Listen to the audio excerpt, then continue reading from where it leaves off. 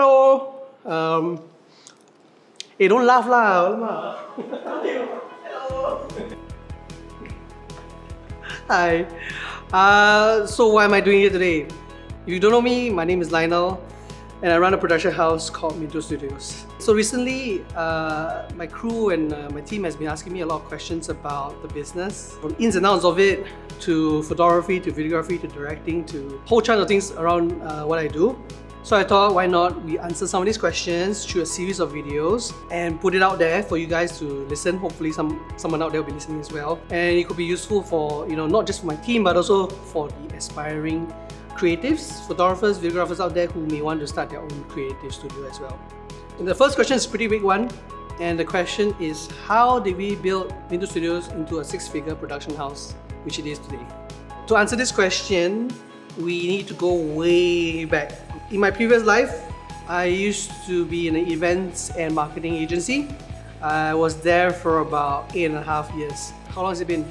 About 10 to 11 years ago since I started and uh, that was my first job. It wasn't an easy job, right? It was tough. It was long hours. We had 7 days a week at times and you have 14 hour work days so it's insanely stressful So I, I literally had mini anxiety attacks when I heard my ringtone. It's like when I heard my ringtone, I, my body went like, you know, like like I really flinched when I heard my ringtone. But if I wanted to move on in my life, if I wanted to do something, I knew I had to move on.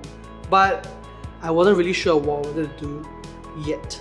Eh, but then again, I learned a lot, right? So I I give I regret nothing. It was the it was a great eight years. I met a lot of FNS people, both my own team as well as clients as well. So I met a lot of people there, and it, and it came back later. So the network that I built there did help later. Other than the stress at work that was affecting me, it also inevitably affected my family as well. Uh, obviously, I didn't see my parents a lot. My then girlfriend and then wife also was like, don't see me a lot. So, you know, it affects, you know, your own personal life as well, being such involved in your work, right? You come home late and things like that. So finally, the one that kind of pushed me over to know that I really got to make the move is my mom passed. So my mom passed, it was sort of like an epiphany moment.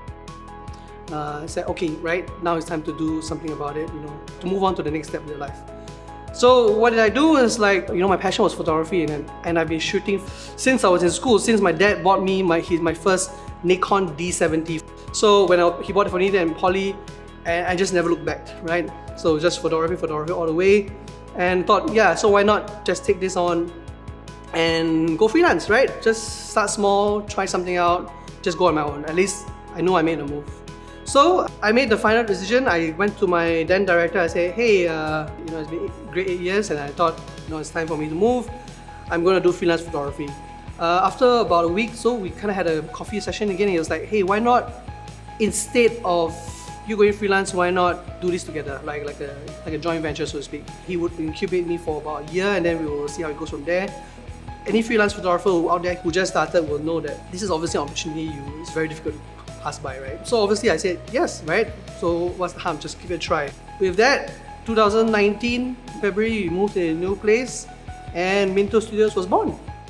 And so it, uh, it, was a good time. We had a big opening and just in that same period that we opened up shop and then I started to announce everyone we started a new company. My wife also gave me good news that we had a kid coming. So that was a good time. So when my wife told me she was pregnant, it went from shock to joy and happiness to then uh, sudden concern and worry about, oh no, I just threw a lot of money into the business and I, now I have a kid coming along.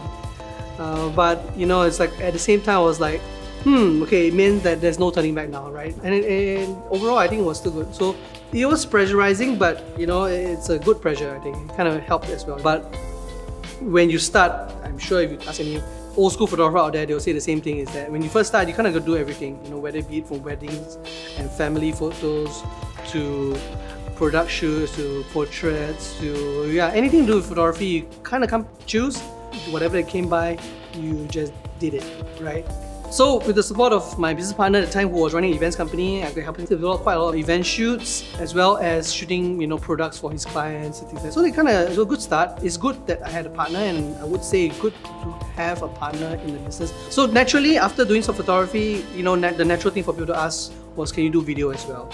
So I mean, I secretly did want to become a filmmaker and a director in future. So I was like, why not, right? Just just do it and uh, do the camera and started doing video for my clients as well. You know. Um, and it was fortunate that through some of the projects, I was able to travel to uh, Maldives. I was able to travel to Sydney and New South Wales to shoot some videos as well. So it was a it was a good journey, right? So, but you, you had to be adaptable to learn, and whatever the client wants, you got to try and see if you could do it. Do it, right? Again, the priority was just making money. But it came to a point where I knew that uh, I couldn't do the videos alone. And Minto Studios had to get better at videography work, so that's when I started to look out for uh, my first hire. So I actually hired my first video guy. Uh, of course, you could work with freelancers, but I just came to a point where I think it just made sense to hire. But guess what happened? The next thing that happened was COVID, right? Everybody knows what happened. Uh, so under COVID, events all went away. We literally had no more event jobs, things were really bad. And by this time, COVID hit, my kid was already born, was already a couple months old. Uh, yeah, so things were pretty dire at that time, right? So, um, but I was lucky, right? I was lucky that, you know, I kept in contact with my network, my business network, and some of them were really supportive of me. Uh, we had good relationships and they tried their best to give me jobs as well. So we, I even had a client where uh, they sent the food to my house to where I was staying and then we shot the food there. So they packed it food, we shot the food, they paid us for the job and we got to eat the food at the same time. Right? But again, those were very few and far between and obviously not really sustainable in the long run. Uh, with that said, you know, the first few months was really tough, especially a circuit breaker, but COVID is a double-edged sword. While COVID was stressful, it also opened very big doors for us. Really big doors, I must say. So we had projects like Singapore Festival, uh, that we did for two years during this entire COVID period. And that was one very milestone project for us. We had some big corporate shoots that we did for some of our clients. And everybody knows with COVID, live streaming became really hot. So we were forced to learn live streaming as well. Thankfully, I hired uh, somebody because he could really uh, get into the live streaming while I still ran the business. And then suddenly, uh, we could do small little live stream projects as well right? But these small little live stream projects were also important because that opened us again to more clients.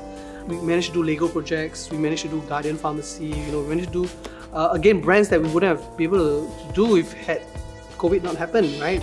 With these opportunities, we were then able to build a bigger team. Uh, now I have, other than my videographer Lukman, I now have uh, Ziying, who is my assistant producer, Dylan, who is my second photographer, who is really good at production.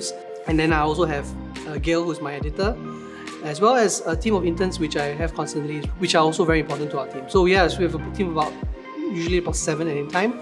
On top of that, with the success we had during COVID, uh, we were also able to build a bigger studio space. And now we have a full-fledged kitchen, we have a cyclorama space, we have two living space areas for, you know, whether you want a chill out space or you want a talk show.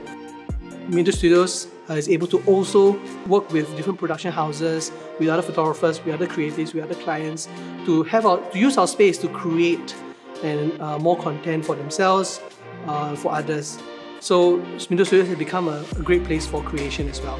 Whether we us or whether we others, uh, which is what we want. We want to do collaborations, we want to work with others as well. With that said, with the space for creation, what's next for Minto Studios? What do we want to do and do next?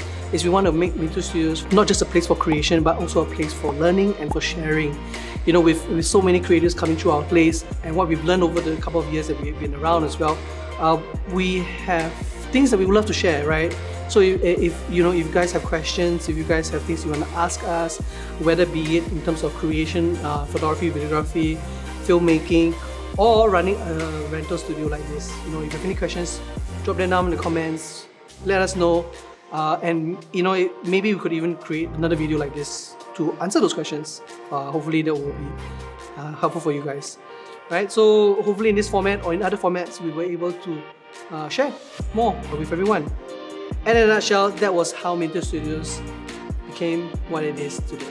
So again, drop the comments. I'll see you guys in the next video. Hopefully we'll see you soon.